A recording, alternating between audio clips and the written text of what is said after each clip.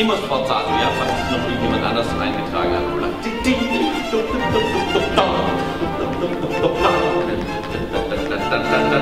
dann alle kurz.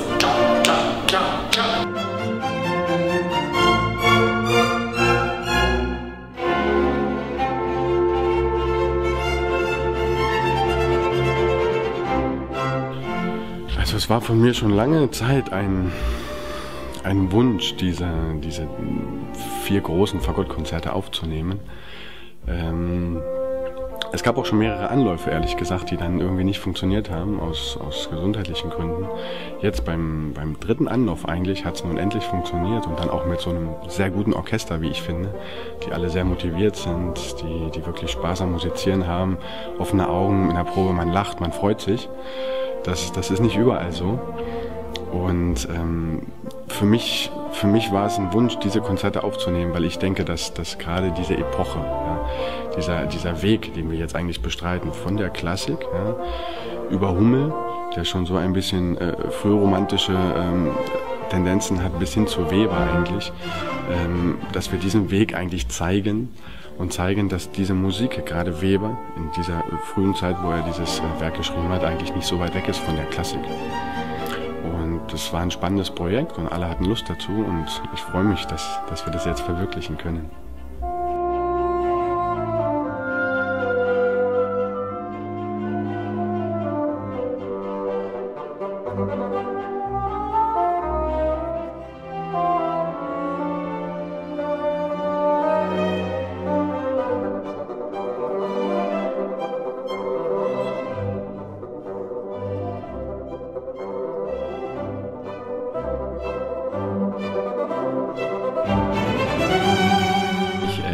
Liebe einfach das Musizieren, ich liebe den Kontakt mit dem Orchester und, äh, und wenn man dann äh, so eine fruchtbare Zusammenarbeit hat und äh, wie hier in Herford jetzt für die neue Produktion mit den Fagottkonzerten, dann äh, merkt man einfach, das ist einfach der schönste Beruf der Welt, äh, wenn man einfach musizieren kann mit den Menschen und mit so einem Solisten natür natürlich noch dann dazu.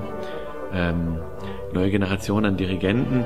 Äh, jede Generation hat vielleicht ihre Mittel, äh, ich glaube, wir sind relativ demokratisch. Also der Pultdiktator, der existiert heute nicht mehr oder nur noch sehr selten. Es wird weit weniger als noch vor einigen Generationen mit dem Mittel der Angst gearbeitet, sondern wir sind, glaube ich, mehr darauf aus, die Leute zu motivieren, dass wir miteinander Musik machen, weil nur so kann es funktionieren, dass eben das ganze Orchester und der Dirigent und der Solist dann noch gemeinsam miteinander Musik macht.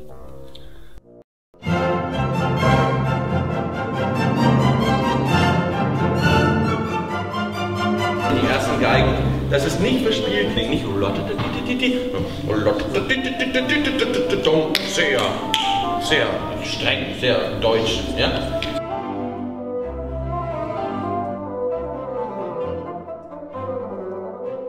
Also ich kannte Johannes ähm, vor diesem Projekt nicht und wir haben uns das erste Mal zusammen telefoniert, weil wir wussten, dass wir gerade bei dieser Aufnahme extrem unter Zeitdruck stehen. Also wir haben hier äh, vier große Fagottkonzerte, wir haben vier Aufnahmesessions, was, was eigentlich schon total verrückt ist, sowieso das äh, in der Form zu machen.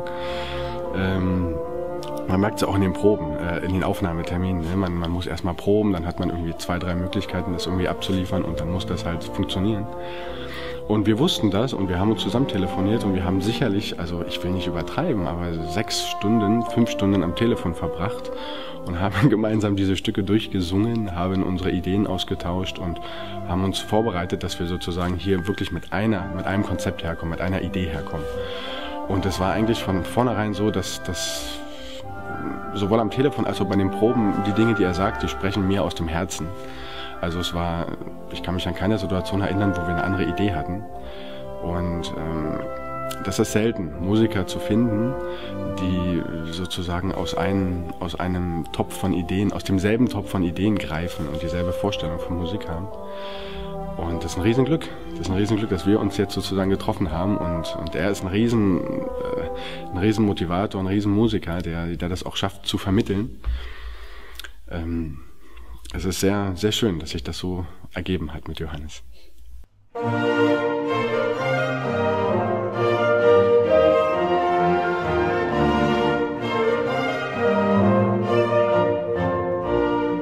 Gerade bei solchen Aufnahmen ist ja immer die Gefahr, dass man das so auf Perfektion trimmt, dass dann am Ende so ein bisschen die Lebendigkeit verloren geht, weil man das Publikum nicht dabei hat. Äh, äh, und deswegen äh, versuchen wir dann auch immer einfach längere Strecken auch im Stück durchzuspielen, dann, wenn wir es dann genau gearbeitet haben und so weiter. Und da ist dann wichtig, dass man alles vergisst, was man davor im Detail gepuzzelt hat und dass man einfach sich der ganz musikantischen Liebe zur Musik hingibt und einfach das lebendig gestaltet. Und ich glaube, das ist was, was sich auch über Tonträger eben transportiert, dass man eben Freude hat an der Musik. Und wir haben natürlich jetzt eine CD aufgenommen, äh, die einfach sehr äh, musikantisch ist, äh, sehr viel Freude an der Musik ausstrahlt. Und zwar alles auf ihre Art und Weise. Sowohl der Mozart natürlich, aber auch der Hummel, der ja Schüler von Mozart war und einfach diesen Schritt weiter in die Romantik geht und auch unglaublich wunderbar mit Kontrasten arbeitet und das Ganze unheimlich lebendig gestaltet. Und natürlich genauso Weber, der auch sehr viel Humor hat und wunderbare Farben ins Orchester einführt.